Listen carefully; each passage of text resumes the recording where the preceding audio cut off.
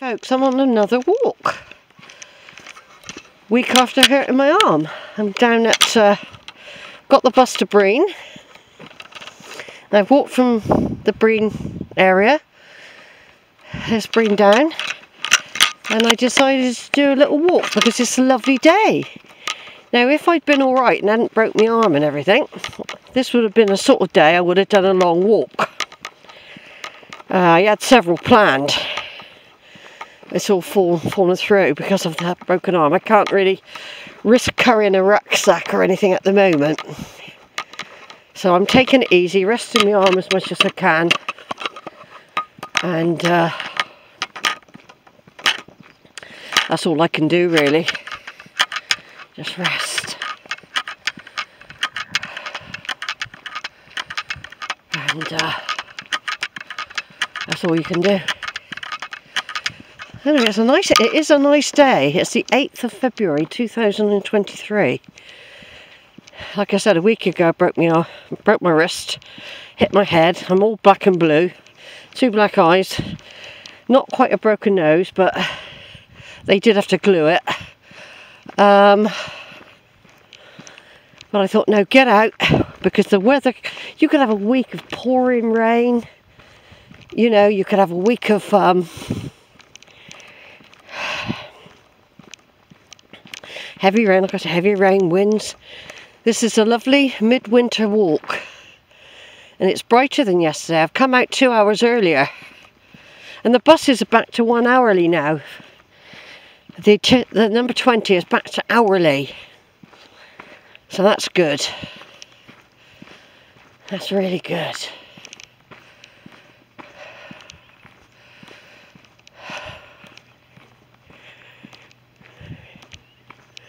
Yeah, look, people are starting to bring their caravans here now.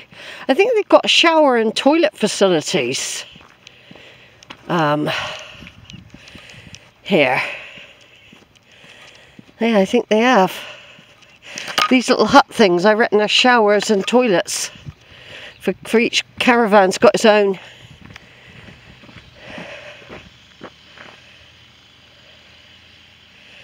It's all locked though. What they don't provide for walkers really are you've got to have a really good bladder or hang on as best you can from one village to another. These are things that do influence your walk. Uh, they do influence it. Yes, they've got all the plumbing. That looks like a toilet pipe, doesn't it? Outdoor tap. Yeah.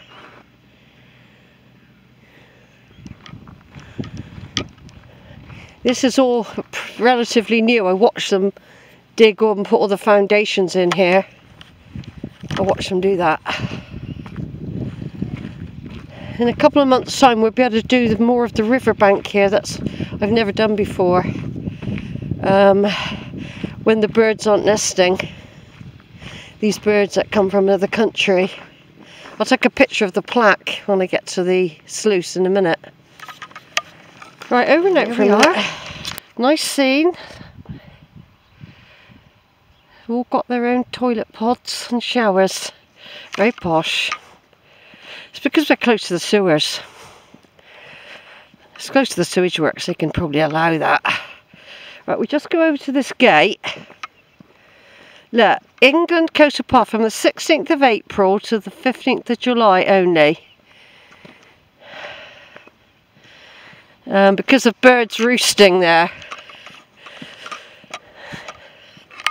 This um, structure looks chaotic, but it's there for a reason. It breaks up the the wind, so it doesn't. An ordinary fence would be flattened, right, but not here. They leave a little gap there so you can look down. I did go along a couple of gates a couple of months ago and then I turned back. It was winter, there was no one about. But you're not supposed to. And I don't think that sign was up then.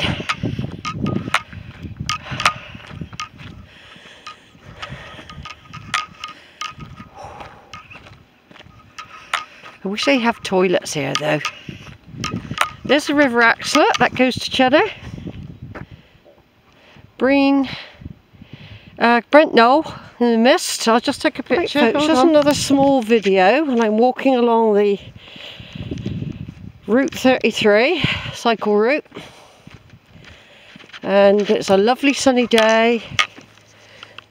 The hills are in the mist, like Crooks Peak and Brent Knoll are in the mist. I can see somebody walking, they're walking across a field though. There's a little bird there, is that a little robin? Yeah, it's a little robin. Yeah, there's some people coming. Yeah, I don't know if they went across the field. No, maybe they didn't.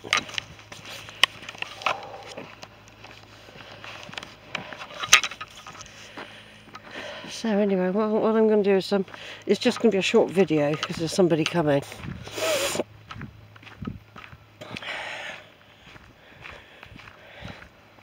Right folks, just another small video and I'm walking along the Route 33 cycle route and it's a lovely sunny day. The hills are in the mist, like Crooks Peak and Brent Knoll are in the mist. I can see somebody walking, they're walking across a field though. There's a little bird there, is that a little robin? Yeah, it's a little robin. Yeah, there's some people coming. Yeah, I don't know if they went across the field. No, maybe they didn't.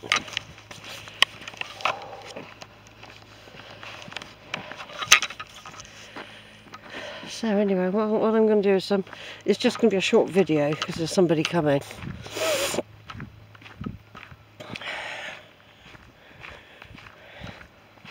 Right folks, right, beautiful day.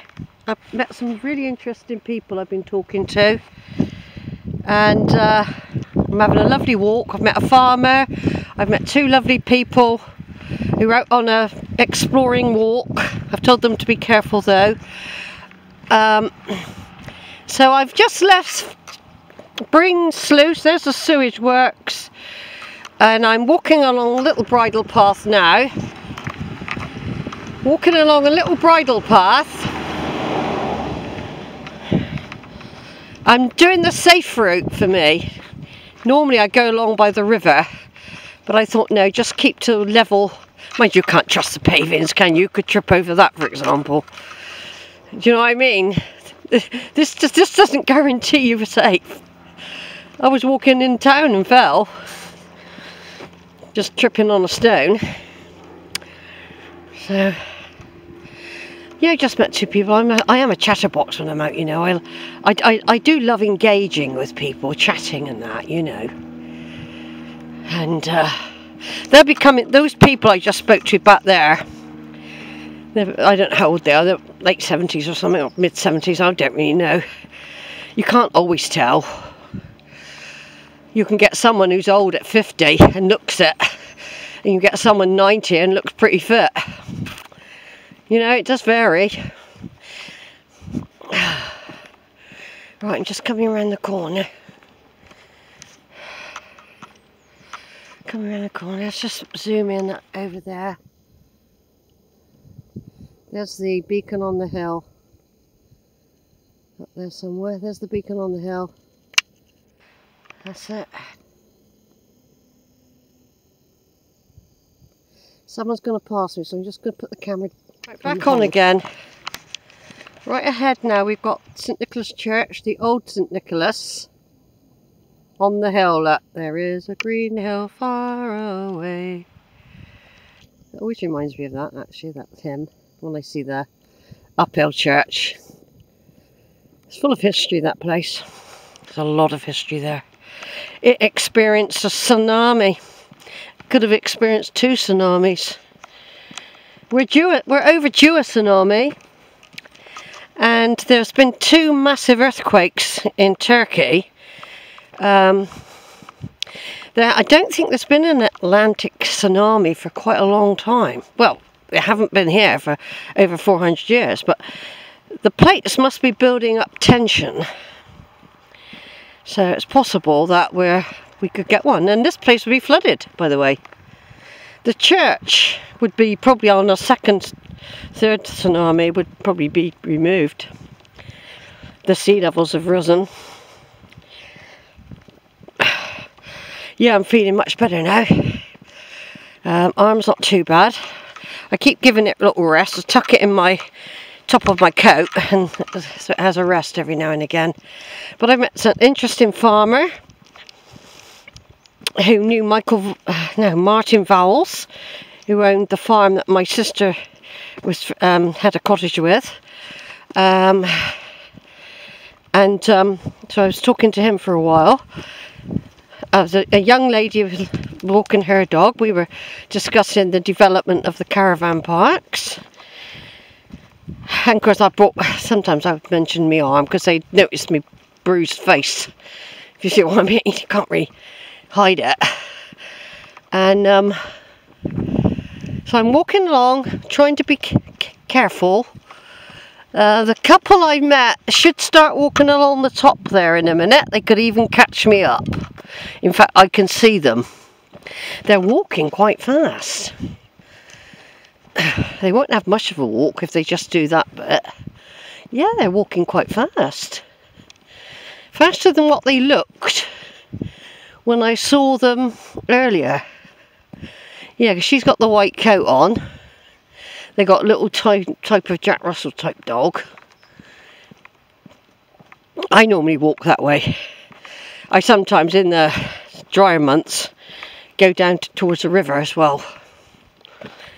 Um, yeah, I'm enjoying this walk. I said, got to keep an eye not to strain the uh, wrist too much. So I need to put it inside my coat again and rest it a bit. Just rest it. Rest the wrist.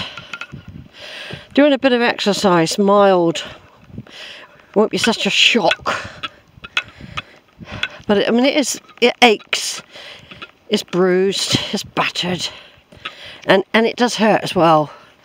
I mean, your body responds when it you're trying to pull your trousers up using these fingers.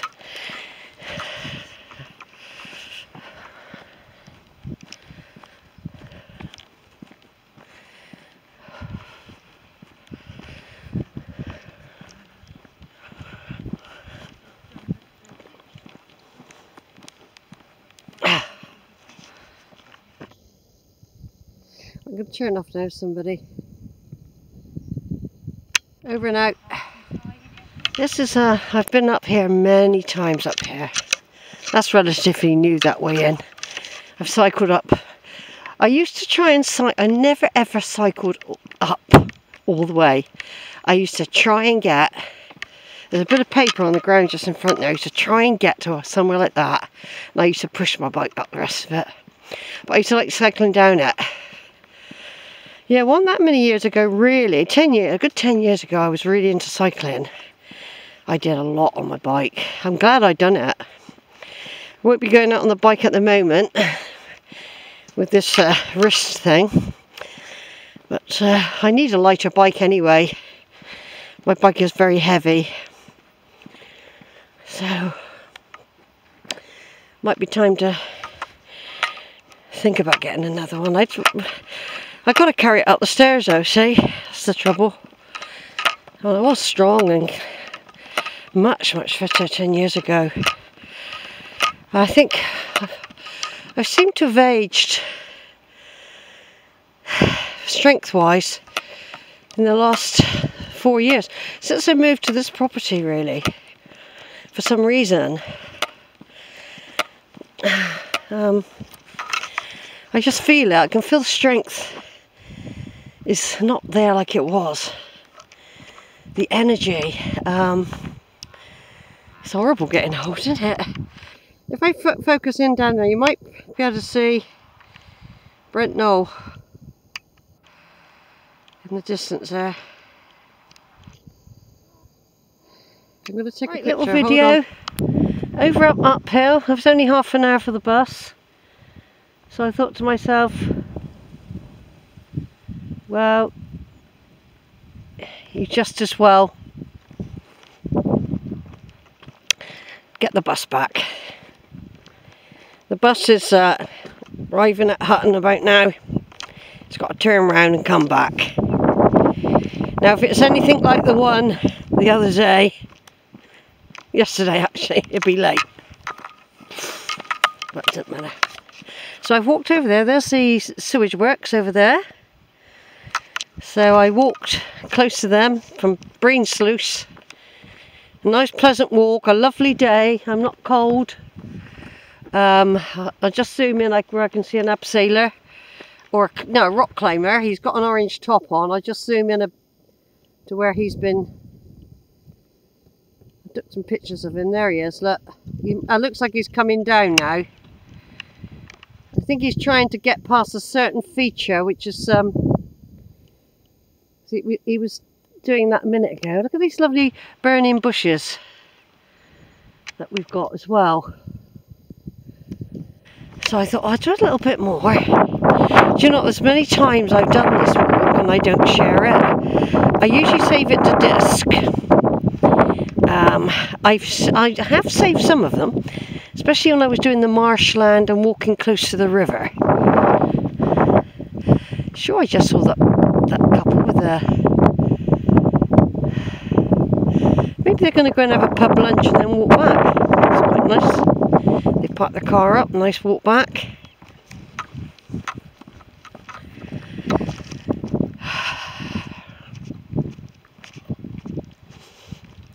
I just thought I'd do a little bit of video. I don't think the battery will last much longer. We've got the marinas, a few people out camping. Um, it's mild, you see. It's very mild, but it's deceiving. I mean, they said we were going to have um, an Atlantic freeze coming. And uh, we haven't had it. We haven't had an Atlantic freeze at all. We made a big fuss about it and it didn't come. I'm not saying it's not cold in the evenings or anything.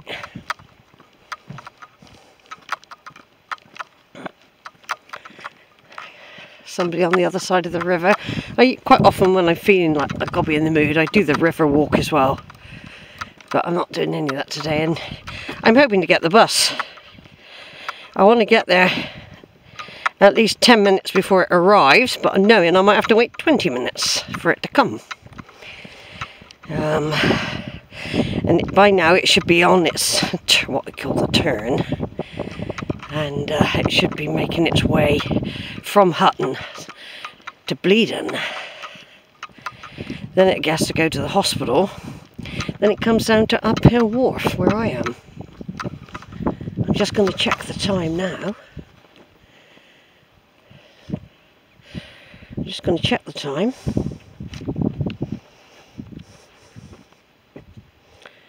Yeah, at the moment, it's supposed to be at Hutton School.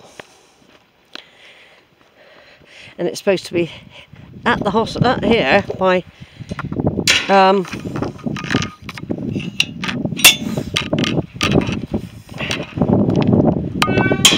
where it says three minutes past the hour.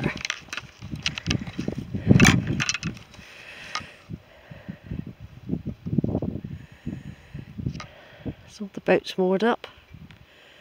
I can remember when there was a massive boat here and then the bloke was told to leave because I don't know if he didn't pay his rent or something to dock but uh, he ended up parking it up a tributary of the River Axe. I can't see it at the moment but it's probably round the corner there unless it's been moved.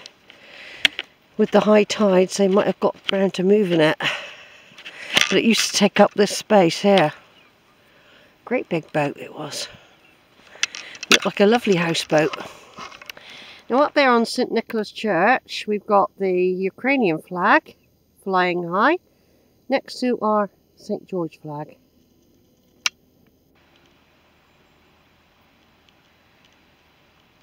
There we go. The Ukraine war is still going on of course but this devastating earthquake and follow-up tremor has um, killed so far minimum of 5,000 people. Squashed like pancakes. Squashed. In their beds, asleep, a lot of them were. So it happened in the night. So it killed loads of people. They wouldn't even known, probably. Hopefully they didn't. Although the shaking might have woke them. Apparently it was, it was violently shook for three whole minutes. So somebody could have woken as their home started to shake and then that was it, over. And it's freezing weather. It's free. It's snowing. It's raining. So, yeah, terrible. And that particular area, I haven't seen a quake for a hundred, two hundred years. This is the sort of place I'd like to have camped when I when I was lucky enough to have that sort of thing. I miss my van. I miss the adventure, the freedom going off on the road. I miss it. But it doesn't mean I won't do it again. Oh look, there's a heron. Oh no, a snowy egret. Snowy egret just down there, look. Pottering in the mud.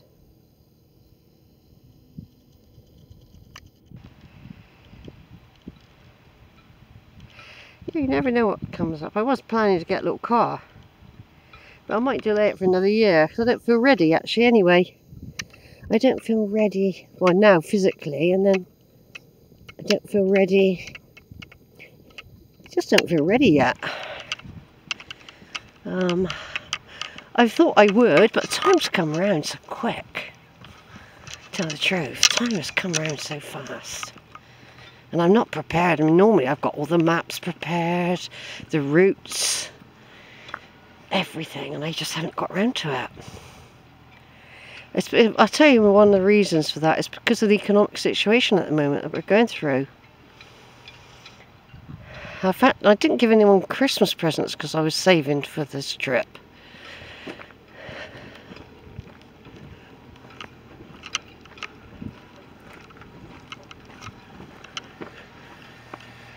Either craning in or craning out.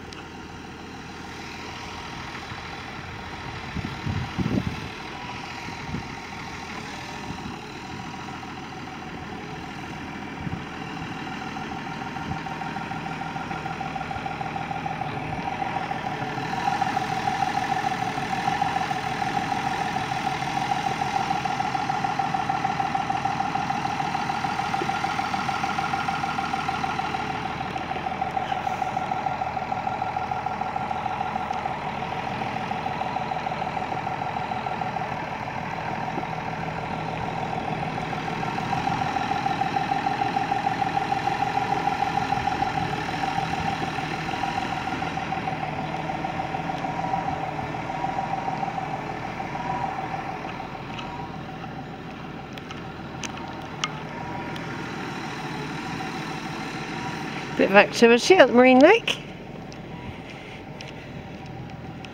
Right, I'm going off now folks. Just one more look round.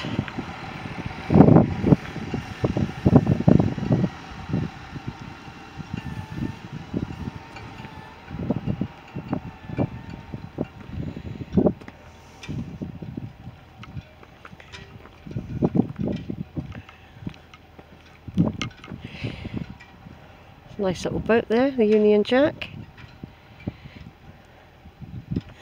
It always reminds me of the Ocean Youth Club days in Plymouth when I was 17 on the high seas.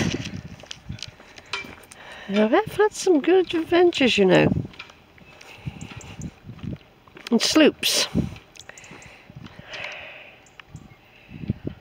I think like, I can't remember how big it was now. A bit bigger than that one there, though. Yeah, that was good times.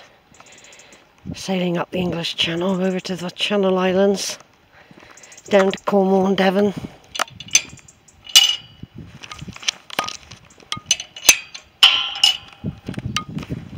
Oh, for sale.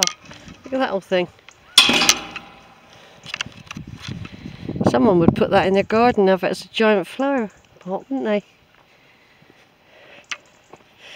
This is where they come and fix things here.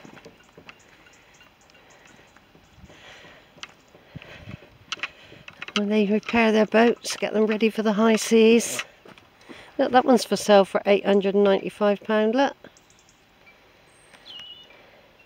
See this dog there, passed away. Somebody lives in that one.